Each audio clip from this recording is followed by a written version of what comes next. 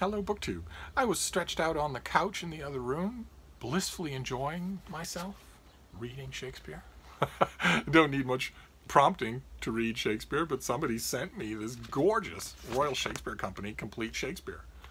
Uh, this lovely thing. Uh, I thought I'd give it a workout. I thought at first that I would just dip in, maybe read some introductions, maybe read some notes. But uh, this morning I found myself reading The Merchant of Venice all over again. but I was in the middle of that when the doorbell rang. I got mail on a Sunday. Uh, it's just one package and it's from Amazon. So I'm wondering if it's something, once again, that, excuse me, that one of you sent to me as a present to arrive. Uh, but I thought we'd give it a try anyway and see what it is. Uh, could be something interesting. Uh, oh goodness. Oh gracious. Oh, my little garbage disposal unit here. Oh, your heart's not in it, is it, baby? It's too warm. It's too warm for you to go nuts. now she's not even holding on to the package. And God knows what it's going to be like. Uh, as soon as I finish this video, we're going to go for... I ordinarily would say we're going to go for our long walk. Ordinarily, we do a bunch of little walks because I always keep in mind with all of my dogs that no matter what else I do for them, I do deprive them of one essential freedom. They can't come and go as they please. And there were many, many years of my life, 25 years of my life, where not only could they not come and go as they please, but I had a retail job. So I was gone for nine, ten hours every day. Imagine a nine or ten hour stretch when you can't do anything, when you, you can't get a snack because your food isn't available to you, you can't get any extra water because there's only what's in your bowl, and there's no one around, nothing. You're going to sleep all that time? Maybe you will, but what if you're young? What if you don't want to? What if you want to do something that time? Nope. Nope. Were plenty of years where I had to do that, where I had to leave dogs under those circumstances, very familiar circumstances to a lot of you, I'm sure.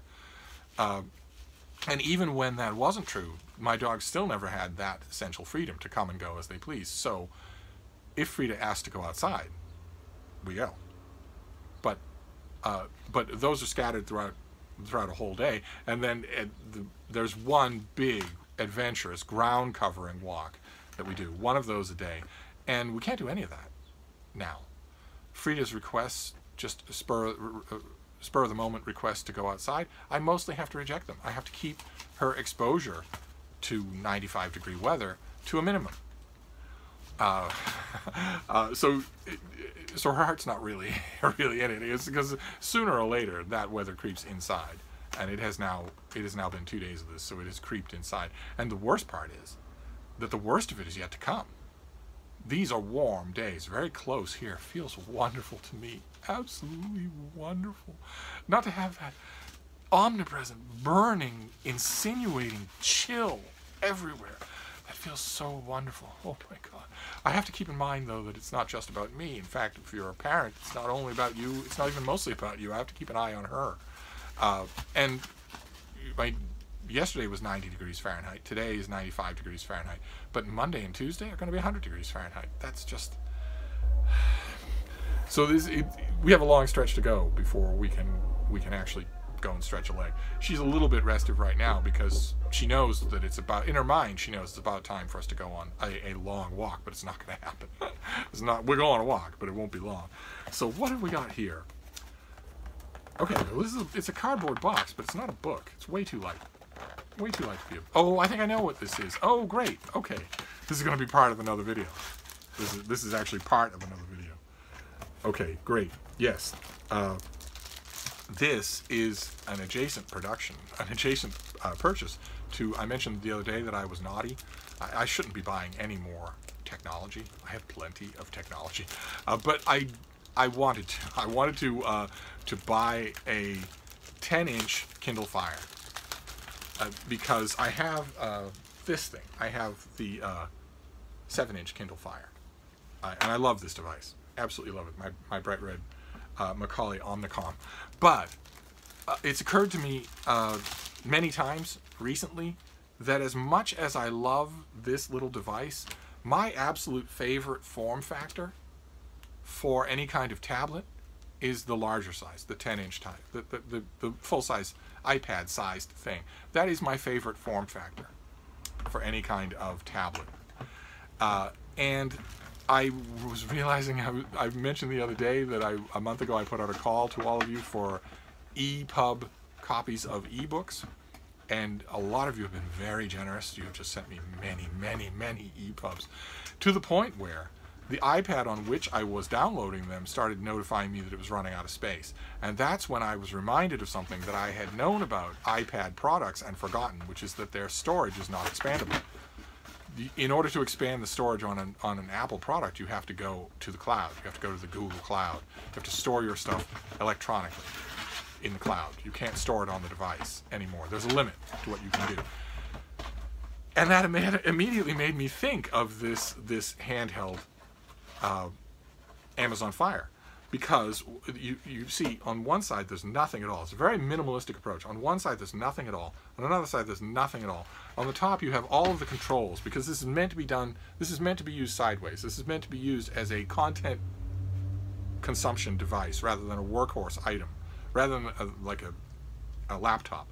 So almost all of your controls are up on the top there. You have the phone, the headphone jack there. You've got the, uh, the volume. You've got the power button uh, and there's one exception to that, and it's on the side here. Can you make it out there? And that's this. This device is expandable. It has expandable memory. You can put a micro SD card in here and expand the memory. Uh, and the minute I realized that, I, I realized that I should be loading ebooks onto Kindles where I can expand the memory, rather than onto an iPad where I can't, and where eventually I'm going to get to the point where I'm going to have to delete stuff in order to fit stuff on. Nobody wants to do that, right? so, so I thought, well, okay, you know that that Kindles are expandable because you can buy a micro SD card with a huge amount of space on it, and you know that you like the 10-inch form factor, the full-size uh, tablet, more than you like this little thing. This thing has not offended in any way. This is a fantastic device, especially after. Uh, don't know if you're going to be able to make it out here. Um, especially after I took the uh, the time and the minimal trouble to put the Google Play Store on it, because uh, Amazon devices don't come with it. Amazon Amazon devices come with the Amazon App Store, uh, which has all sorts of weird Poochie-esque knockoff versions of the, some of the most essential apps. So you, I wanted to have the Google Play on there, among many other things, so that I could have Google Docs which I, I, live on Google Docs. So, uh, so once I added that, then uh, I, I, paid fifty dollars for this thing, and a bright red device that's that's really sturdy and really good. This is a really good Android device. Its only major drawback was that it has an, an Amazon skin on it that you, you just have to get around. It's not hard to do. Uh, there's there's a moment when you're doing something like that, when you're adding the Google Play Store by sideloading it, there's always a moment in that process where your heart is in your throat because you're thinking, oh my god, what if this doesn't work? What if it hurts my device? What if, it, in addition to not loading, it, it breaks this device? But A, on the one hand, when I put the, the Google Play on this little 8-inch device, I had another one that was black instead of red. Identical device. Just I had it side by side to remind myself that I'm, you're not risking anything to do this. And that, even that, was only a sop to my Irish bog trotter penny pincher uh, DNA because the thing is fifty dollars. So what if I break it? I know that's a very American thing to say, but it's fifty dollars. So what if I break it? I can buy another one. The same thing is going to be true. Uh, I the naughtiness here is that I ordered the uh, 10-inch Kindle Fire, uh, and it was hundred dollars. It was on sale. It was uh, not a lot of money It's to the point where when I am sideloading the Google Play Store onto that 10-inch tablet, which I think is coming soon, I think it will be arriving soon. It's not this box. This box is something else.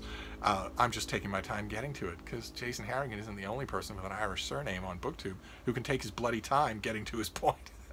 it's actually fairly easy to do for some people.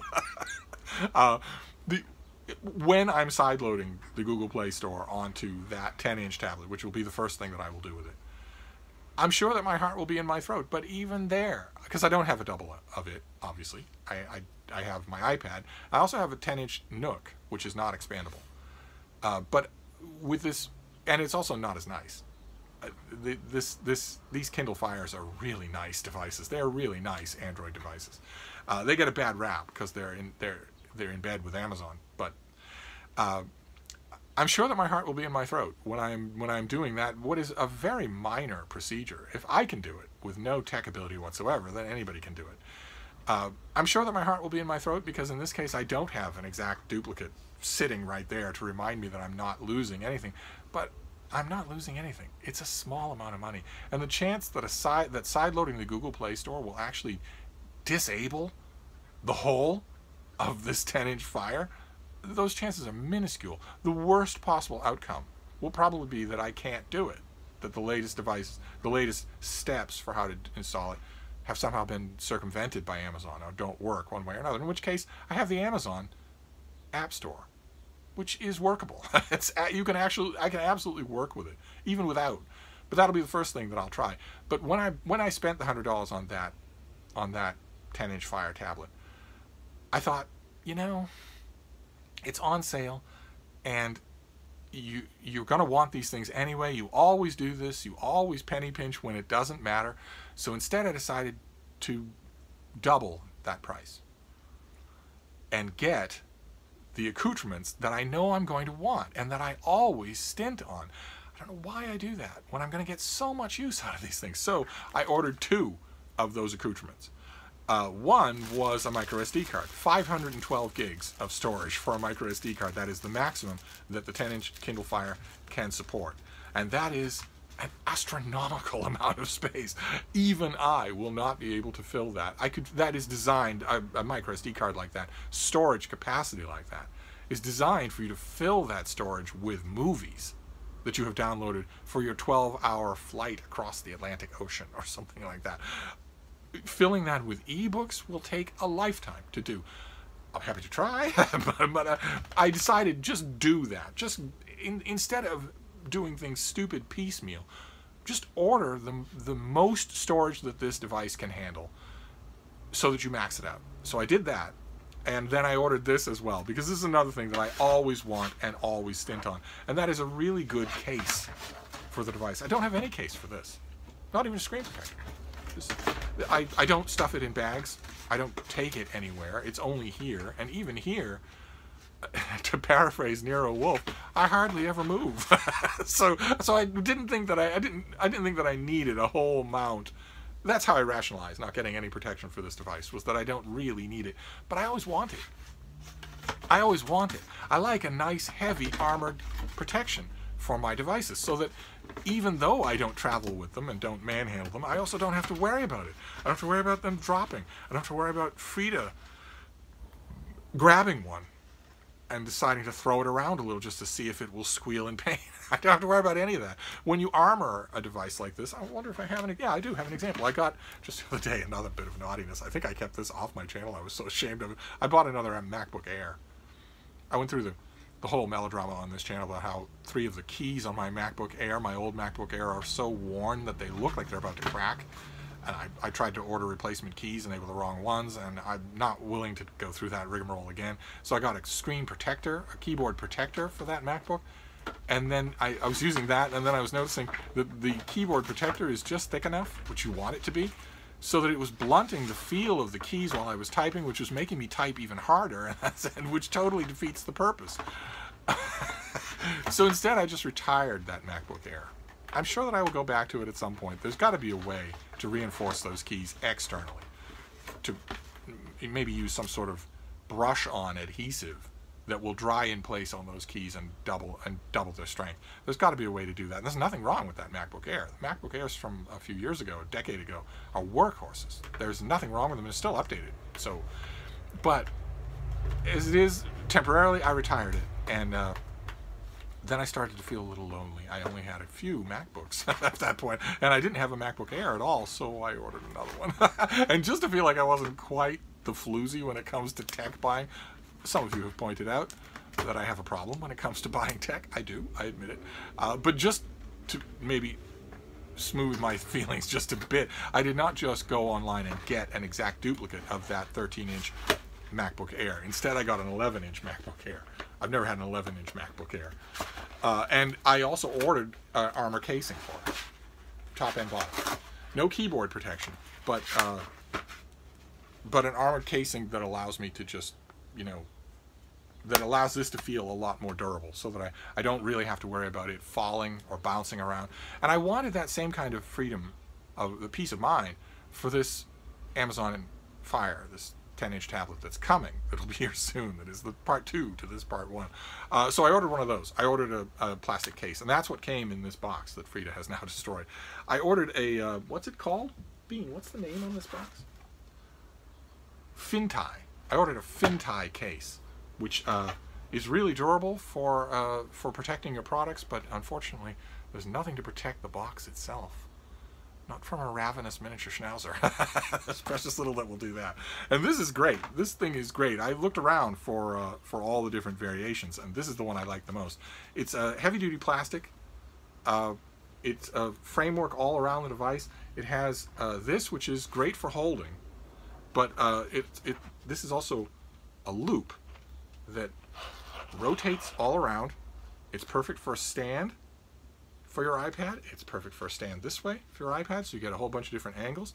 And you can also flatten it, and then it's perfect as a handle to use like that. It's nice and sturdy, and you can fold it all back like that, so that, so that you just uh, you just have the device like that, which is great. I, that that is fantastic. This also comes with uh, all the ports are there, but they have nice uh, this looks like industrial rubber.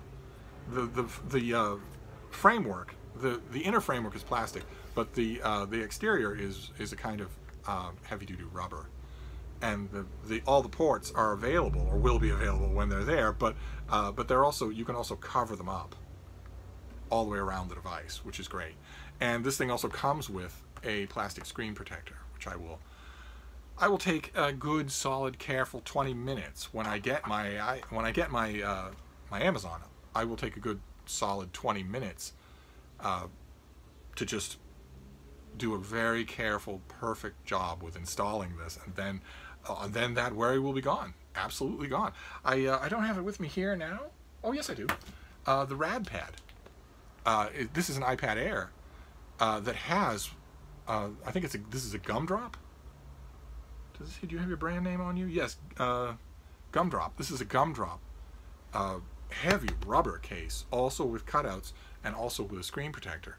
And also the cutouts on this are, are protected with these sealable rubber things. And I just love this. I was looking for no particular reason. I was looking for a cheap iPad Air on, I think it was eBay this time around and I found one that was that was refurbished. It was dirt cheap, and it came with this cover. I did not install this. I wouldn't know how to take this off. I have no idea.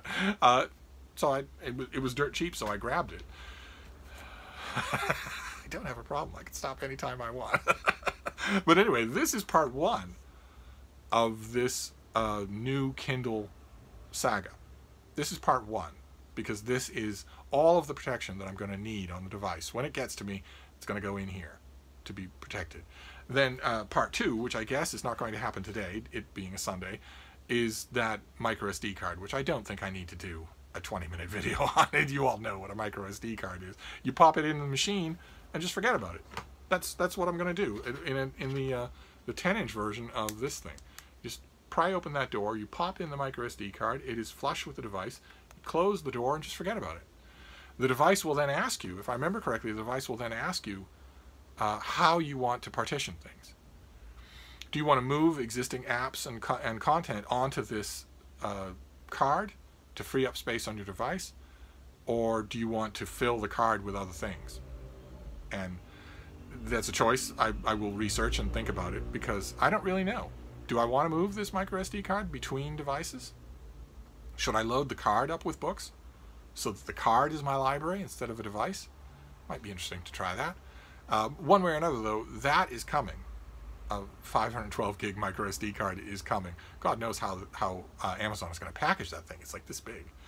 Uh, and then also the Kindle itself is coming now. The Kindle itself may be worth another nattering stem winding video, uh, but I will we'll see when the time comes. I'm feeling a trifle embarrassed right now at how much tech I have just within arm's reach without any planning. Imagine how much I could have if I planned. It reminds me of uh, it reminds me of a, a, a great classic moment from the good old days when Olive from a book Olive and her hubs would come to visit periodically here at Hyde Cottage and, and get screamed at by my little schnauzer, and we would have wine and calzones well into the night uh, and talk about everything. And I remember one time during one visit, uh, Olive's Hubs is a tech guy and has a lot of tech interests and has written some very good tech book reviews for Open Letters. Uh, and I thought, so I thought it might be interesting to show him one of the laptops that I have uh, just in, in my tech drawer. I have a huge tech drawer underneath underneath the depths of Moria. Uh, and so I did, and he plugged it in, got it working, and started looking at it, and he was he was chortling and extorting about you know about exclaiming about things that were on it. So then I, I decided to show him another one, and then another one, and then another one, and then another one. And I remember there was a moment when it seemed like the whole thing might go south. It seemed there was a moment when it seemed like they were maybe thinking, okay, this is the first two were fascinating. Now the question isn't what is the deal with this particular laptop. Now the question is, why do you have so many laptops? And I have five more since then. So, so I could stop anytime I want. this one was a need. I know the. Oh, never mind. Anyway, I'm gonna wrap this up. That was our Sunday mail. Was the uh, the the FinTie protection that is going to go on my new tablet once it arrives. and then we will see. My, my, the one thing I'm curious about here, I know that I will love this thing, I, especially if the if the side loading of the Google Play Store works. The one thing that I'm curious to see, I suppose it's an easy question to answer, but I'm, I'm a little on the sentimental side. Will it completely subvert this machine? Will I ever use this again? I honestly don't know if it will or not. I have two of these. I have uh, two Kindle e-ink devices, and I have a, a 10-inch Nook device. It was Mar Barnes & Noble's uh, e-reader device, tablet device, that I don't think they're going to make anymore. Uh, and now I'll have this new one. And I'm wondering, the, the new one is just going to be a bigger version of this. And I'm wondering if that means I'll never use this again. Curious to know. We'll, we'll find out. Uh, you might not find out. I might not put you through it, but I will find out. But anyway, that was Sunday Mail. I will decide whether or not I want to upload this. Probably I will, though some of you might be gluttons for punishment. Uh, we'll be back to talking about books tomorrow, I guarantee you. Thank you, BookTube.